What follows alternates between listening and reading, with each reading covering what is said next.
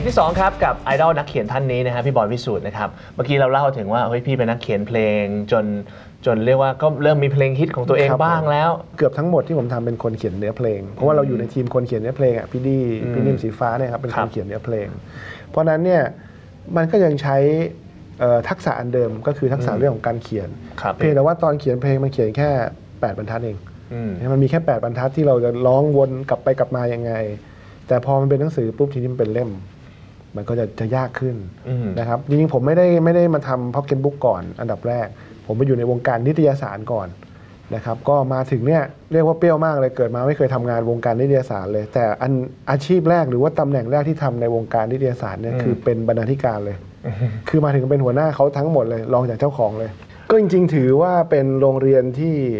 มีคุณค่ากับผมมาก ผมก็ได้เนี่ยเรียนรู้เรื่องของการทำหนังสือทำนิตยสารอ๋อมันทำแบบนี้ อืมก็ได้ฝึกตรงนั้นมาอยู่ตรงนั้นมานานก็ห้าหกปีนานทีเดีเดียยววมานานทีเดียวครับ ก็เลยได้ประสบการณ์ตรงนั้นทีนี้เนี่ย พอหลังจากนั้นเราก็เริ่มรู้สึกว่านิสัยเก่ามันกลับมาคือเฮ้ยเราเราเคยมีชีวิตอิสระ อืม คือแต่งเพลงมันอิสระมากนะครับ เราก็เลยรู้สึกเอ๊ะมันต้องทำอะไรกับชีวิตสักอย่างอยากกลับไปใช้ชีวิตอย่างเดิม ก็คืออยู่บ้านอะไรเงี้ยแต่งเพลงหรือว่าทำงานอะไรอยู่ที่บ้าน ก็เลยหาหนทางว่าเอ๊ะเราจะทำอะไรยังไงดี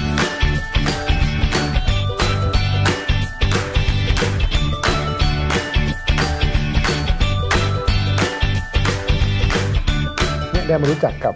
ที่เนี้ยที่เราถ่ายรายการอยู่นะครับ ก็คือ Stock Tomorrow อืม Stock Tomorrow นี่เขาเป็นทั้งสำนักพิมพ์ เป็นทั้งคนที่จัดสัมมนาด้วยนะครับ ก็หลาย ๆ อย่างเลยเป็นเว็บไซต์เป็นอะไรต่างๆนานาด้วย ก็ผมก็ได้งานที่เขาจะให้มาช่วยดูแลเรื่อง Pocket Book ให้อืมนะครับ จากแมกกาซีนก็เข้ามาสู่ Pocket Book ไม่เคยทำเหมือนกันทำไงก็ไม่รู้อืมแล้วที่สำคัญ Stock Tomorrow เขาเน้นเรื่องหนังสือหุ้นเลยในตอนแรก ผมไม่เคยเล่นหุ้นเลย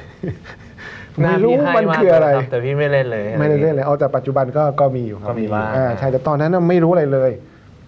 ก็มาเรียนรู้ใหม่หมดเลยอ๋อมันทำแบบนี้เหรอหุ้นเป็นอย่างนี้เหรอพ็อกเก็ตบุ๊กเขาทำอย่างนี้เหรอไม่รู้อะไรเลย ผมก็ทำทำทำมาเรื่อยๆจน จนมันเริ่มมีรายได้ที่มันมันอยู่ได้แล้วจนเราสามารถเนี่ยเฮ้ยงั้นออกมาทำเองพอออกมาได้สักพักปุ๊บเรารู้สึกเฮ้ยชอบชีวิตอย่างนี้มากเลย เราก็อยากจะบอกเล่าเรื่องราวบอกเล่าความคิดของเราเนี่ย ออกมาทีนี้ไม่ใช่เป็นเป็นเบื้องหลังใครละเป็นหนังสือเราเองบ้างอืมนะครับมันเลยเป็นหนังสือเล่มแรกที่ที่ผมคิดว่าทุกคนน่าจะรู้จักผมจากหนังสือเล่มเนี้ยงานไม่ประจำทำเงินกว่า ก็ปรากฏว่าเฮ้ยมันได้รับการตอบรับดีมาก มันเลยยิ่งทำให้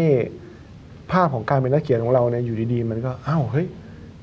จู่ๆตอนแรกเราเป็นคนเบื้องหลังกลายเป็นนักเขียนซะอย่างนั้น หลังจากนั้นเนี่ยผมก็เลยมานินิยามตัวเองเนี่ยแหละว่า เออ เราเราทำอะไรได้มากกว่าแต่งเพลง หรือว่าทำเบื้องหลังหนังสือแฮะเพิ่งรู้ เราก็เลยเริ่มเขียนหนังสือ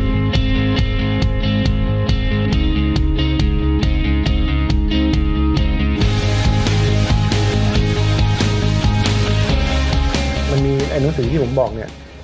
คือเล่มเนี้ยนะครับ ซึ่งจริง ๆ ผมเล่าเรื่องชีวิตตัวเองไว้ ชื่อหนังยางล้างใจอะนะครับ ชื่อมันจะแปลกๆนิดนึงนะครับ เอาเป็นว่าสั้นๆ ง่ายๆ ผมผมก็เล่าแค่ว่าเฮ้ยชีวิตผมเคยตกต่ำยังไงเมื่อกี้เราฟังเหมือนจะดีนะ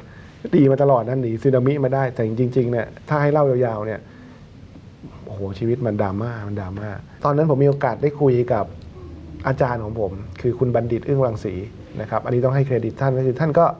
คุณบัณฑิตก็แนะนำผมมาว่าเฮ้ยไอตอนที่คนเราจิตตกเนี่ยเราจะมองเห็นแต่สิ่งที่มันแย่มากอะอืมคือเราหมกมุ่นอยู่กับปัญหา เราจะไม่เห็นอะไรอย่างอื่นเลย แล้วเราจะคิดอยู่อย่างเดียวว่าถ้าเรามีเงินแล้วมันจะแก้ปัญหานี้ได้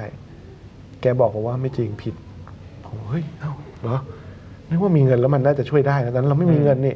แกบอกไม่ใช่เลย จริง ๆ มันต้องอยู่ที่ข้างในก่อน คือเราต้องเลิกมองเห็นแต่ปัญหาก่อนเราต้องทำยังไงไม่ให้มองเห็นแต่ปัญหา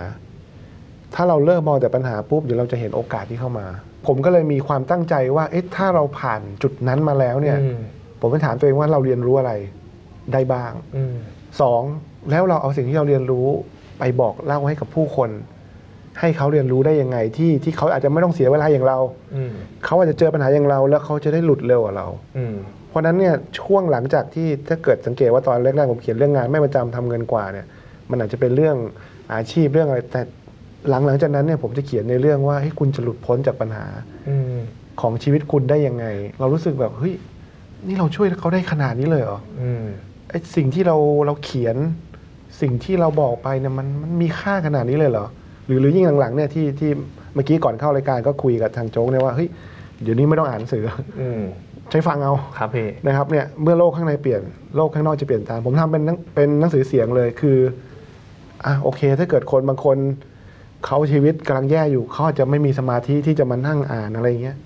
เอาคุณฟังเลยแล้วกันอืมผมบอกให้คุณฟังเลยผมพูดให้คุณฟังเลย เบรกกันก่อนดีกว่าครับ ได้ครับ ยังไม่อยากเบรกแต่เวลาจะหมดเดี๋ยวต้องเบรกกันนิดนึงฮะช่วงหน้ากลับมาเจอกันต่อในสิ่งไอดอลครับ